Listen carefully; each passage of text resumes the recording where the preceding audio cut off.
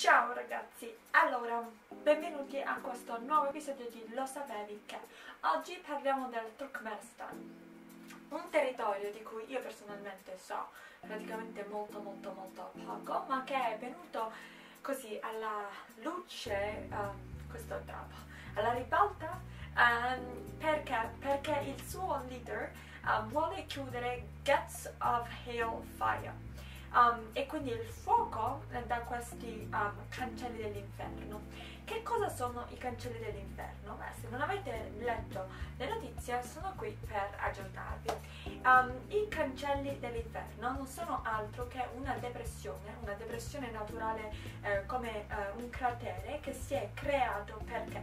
Perché negli anni 60 e soprattutto negli anni 70 in maniera più intensiva i russi um, sono andati in Turkmenistan per, um, perché uh, hanno pensato che quel particolare territorio che si trova a circa 260 km a nord di Ashgabat, che è la capitale, hanno pensato che quel particolare territorio fosse un ottimo territorio perché poteva essere ricco di oil e quindi di petrolio. Hanno pensato che quello fosse oil field hanno incominciato a fare dei drilling, a fare delle eh, perforazioni nel terreno e hanno scoperto una cosa molto interessante che um, quel terreno è pieno di metano.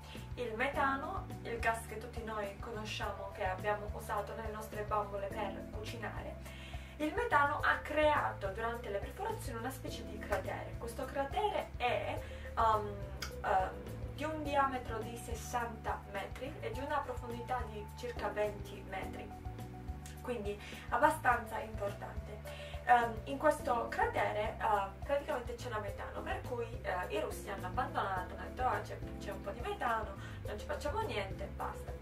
Uh, dopodiché hanno pensato, beh, il metano è pericoloso lì, diamogli un po' a fuoco e questo è successo un po' più tardi. I geologi hanno pensato, well, diamogli un pochettino a fuoco, vediamo un pochettino um, di esaurire il metano di questo territorio e così um, eliminiamo il problema di metano naturale eh, in questo eh, territorio. E hanno dato a fuoco, il problema è che quel fuoco non si è più spento quel fuoco non si è più spento e continua a bruciare e il metano continua a esserci continua a alimentare appunto il fuoco. Per cui questo eh, territorio o questo territorio più eletto, non so, eh, si chiama eh, Gates of Hellfire. Allora, il leader del Turkmenistan, che anche lui aveva fatto praticamente con una specie di furgoncino di quelli cui vai nei sentieri aveva fatto un tour uh, quando voleva essere eletto uh, attorno a questo uh, cratere. Il leader ha deciso no no dobbiamo mm, far finire il fuoco. Forse questa può essere una trovata pubblicitaria di marketing, non lo so. Fatto sta che questa sarebbe la sua decisione.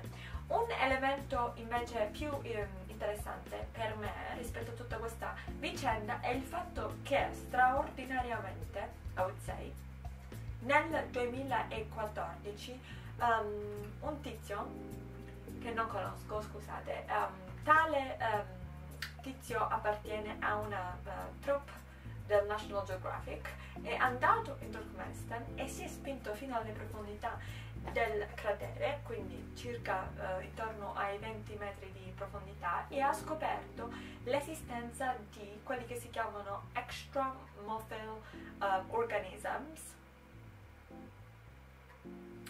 che sono praticamente dei piccoli organismi che sopravvivono in circostanze assurde, per cui questo l'ho trovato veramente, veramente interessante.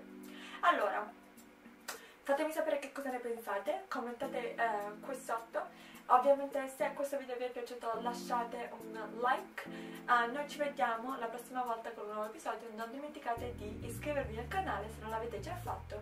E um, attivare la campanella per ricevere tutti i nostri aggiornamenti. Noi ci vediamo la prossima volta con un nuovo video. Ciao!